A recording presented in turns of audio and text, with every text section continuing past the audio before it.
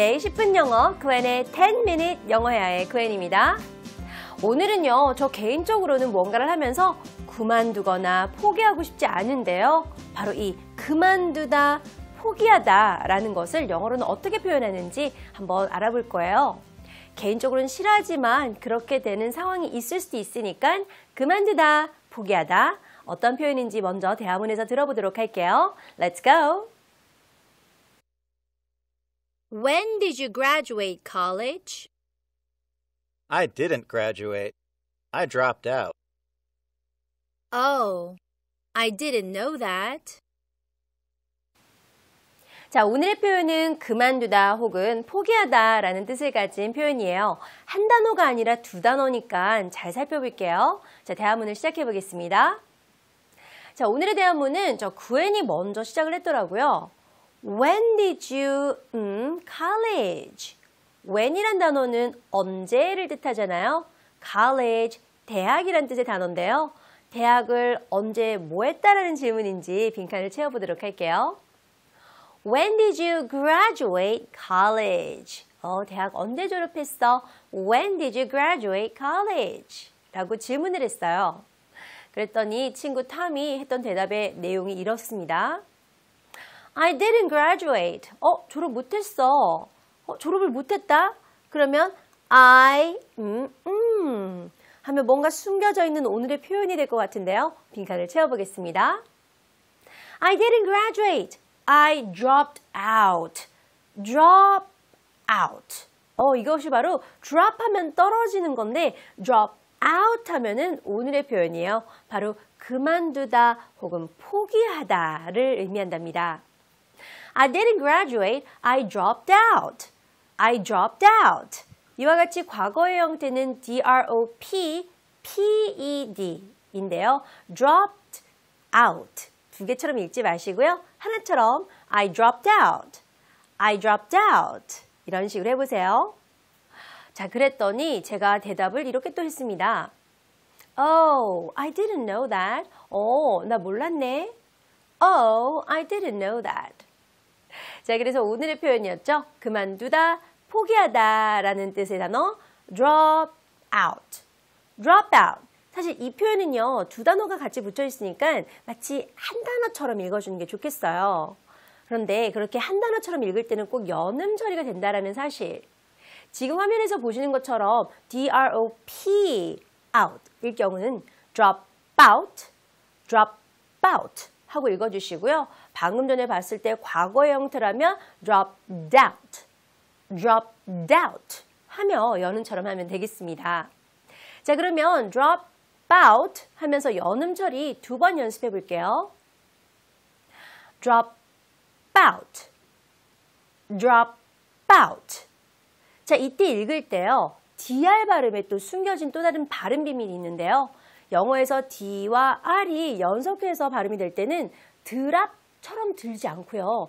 drop, drop 하며 지읒처럼 발음이 된다는 사실 모르셨죠? 그래서 연음도 중요하지만 drop, drop 이라는 발음 부분도 한번 꼭 챙겨보도록 하세요. 아시겠죠? 자, 역시 다시 한번 두 번 연습해 보도록 하겠습니다. drop out. 발음 주의하세요. drop out. 연음, dr 발음. 둘 다 신경 쓰기. 오케이? 자, 그러면 이런 걸 적용을 해서 오늘의 대화문도 함께 읽어보도록 할게요. 자, 먼저 저 Q&A 부분이었는데요. When did you graduate college? 오케이. when, 언젠지 중요할 테니까 when 강조하며 두 번 읽어보겠습니다. When did you graduate college? 한 번 더요. When did you graduate college? 자, 그랬더니 탐의 답변이 이런 내용이었어요. I didn't graduate. 하지 않았어. 부정 단어 강조해 주시고요. I dropped out.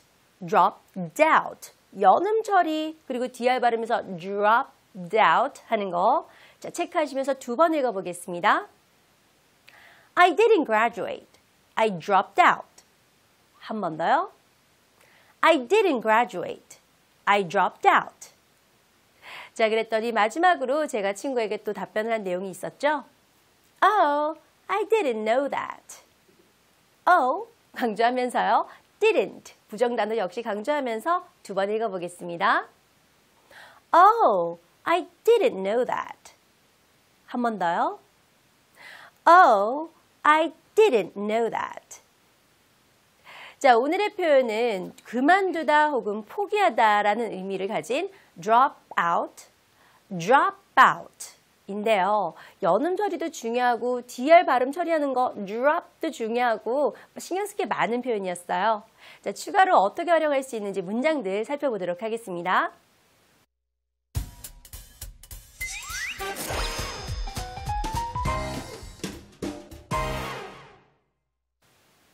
오늘의 표현은 그만두다, 포기하다 라는 의미의 drop out, drop out 되겠어요. 자, 문장 3개 살펴보도록 하겠습니다. 자, 먼저 첫 번째 문장은요. 그들은 좋은 선생님이 있었기 때문에 포기하지 않았어. 자, 포기라는 단어 보이는데 포기하지 않았어 라고도 표현을 해야 되네요. 자, 영어 문장 살펴보도록 하겠습니다. They didn't drop out because they had a great teacher. 어, 역시 drop out이란 단어 보이는데요. didn't 부정단을 넣어서 포기하지 않았어. 완성할 수 있네요. They didn't drop out because they had a great teacher. drop out. 발음 주의하세요. 자, 그리고 두 번째 문장입니다. 그는 학교를 그만두기를 원해. 학교를 그만두기를 원해. 그만두다. 바로 오늘의 표현인데요. drop out 넣어서 문장 완성해 볼게요. He wants to drop out of school. 역시 drop, drop에 신경 써주시고 drop out, drop out 연음 처리도 주의하시고 He wants to drop out of school. 자, 세 번째 문장도 함께 볼게요. 그녀는 훈련 프로그램을 그만두었어. 훈련 프로그램을 그만뒀어요. 관두다. 역시 오늘의 표현 drop out, drop out 활용해서 문장 만들어 보겠습니다. She dropped out of the training program. 오케이. drop out인데 과거의 형태로 she dropped out of the training program. dropped. 하지만 중요한 건 dropped out. 연음 처리를 될 때는 D-O-U-T, doubt 라고 소리가 나요. 그리고 drop 발음도 주의하시고요. She dropped out of the training program. 자, 이렇게 오늘의 표현입니다. 바로 그만두다, 포기하다 라는 뜻의 drop out, drop out. 다시 한번 대화문 속에서 들어보도록 할게요. Let's go! When did you graduate college? I didn't graduate. I dropped out. Oh, I didn't know that. 오늘의 표현은 그만두다, 포기하다 라는 뜻의 drop out, drop out. 발음할 때 또 읽을 때 주의사항이 있는데 j, j, drop 그리고 연음 소리도 drop out, drop out 하는 거 잊지 마시고요. 또 영어야를 공부하시면서 언제든지 궁금한 사항은 저희 EBS 홈페이지에 질문 올리도록 하세요. 저는 다음 시간에 뵙겠습니다. 바이바이.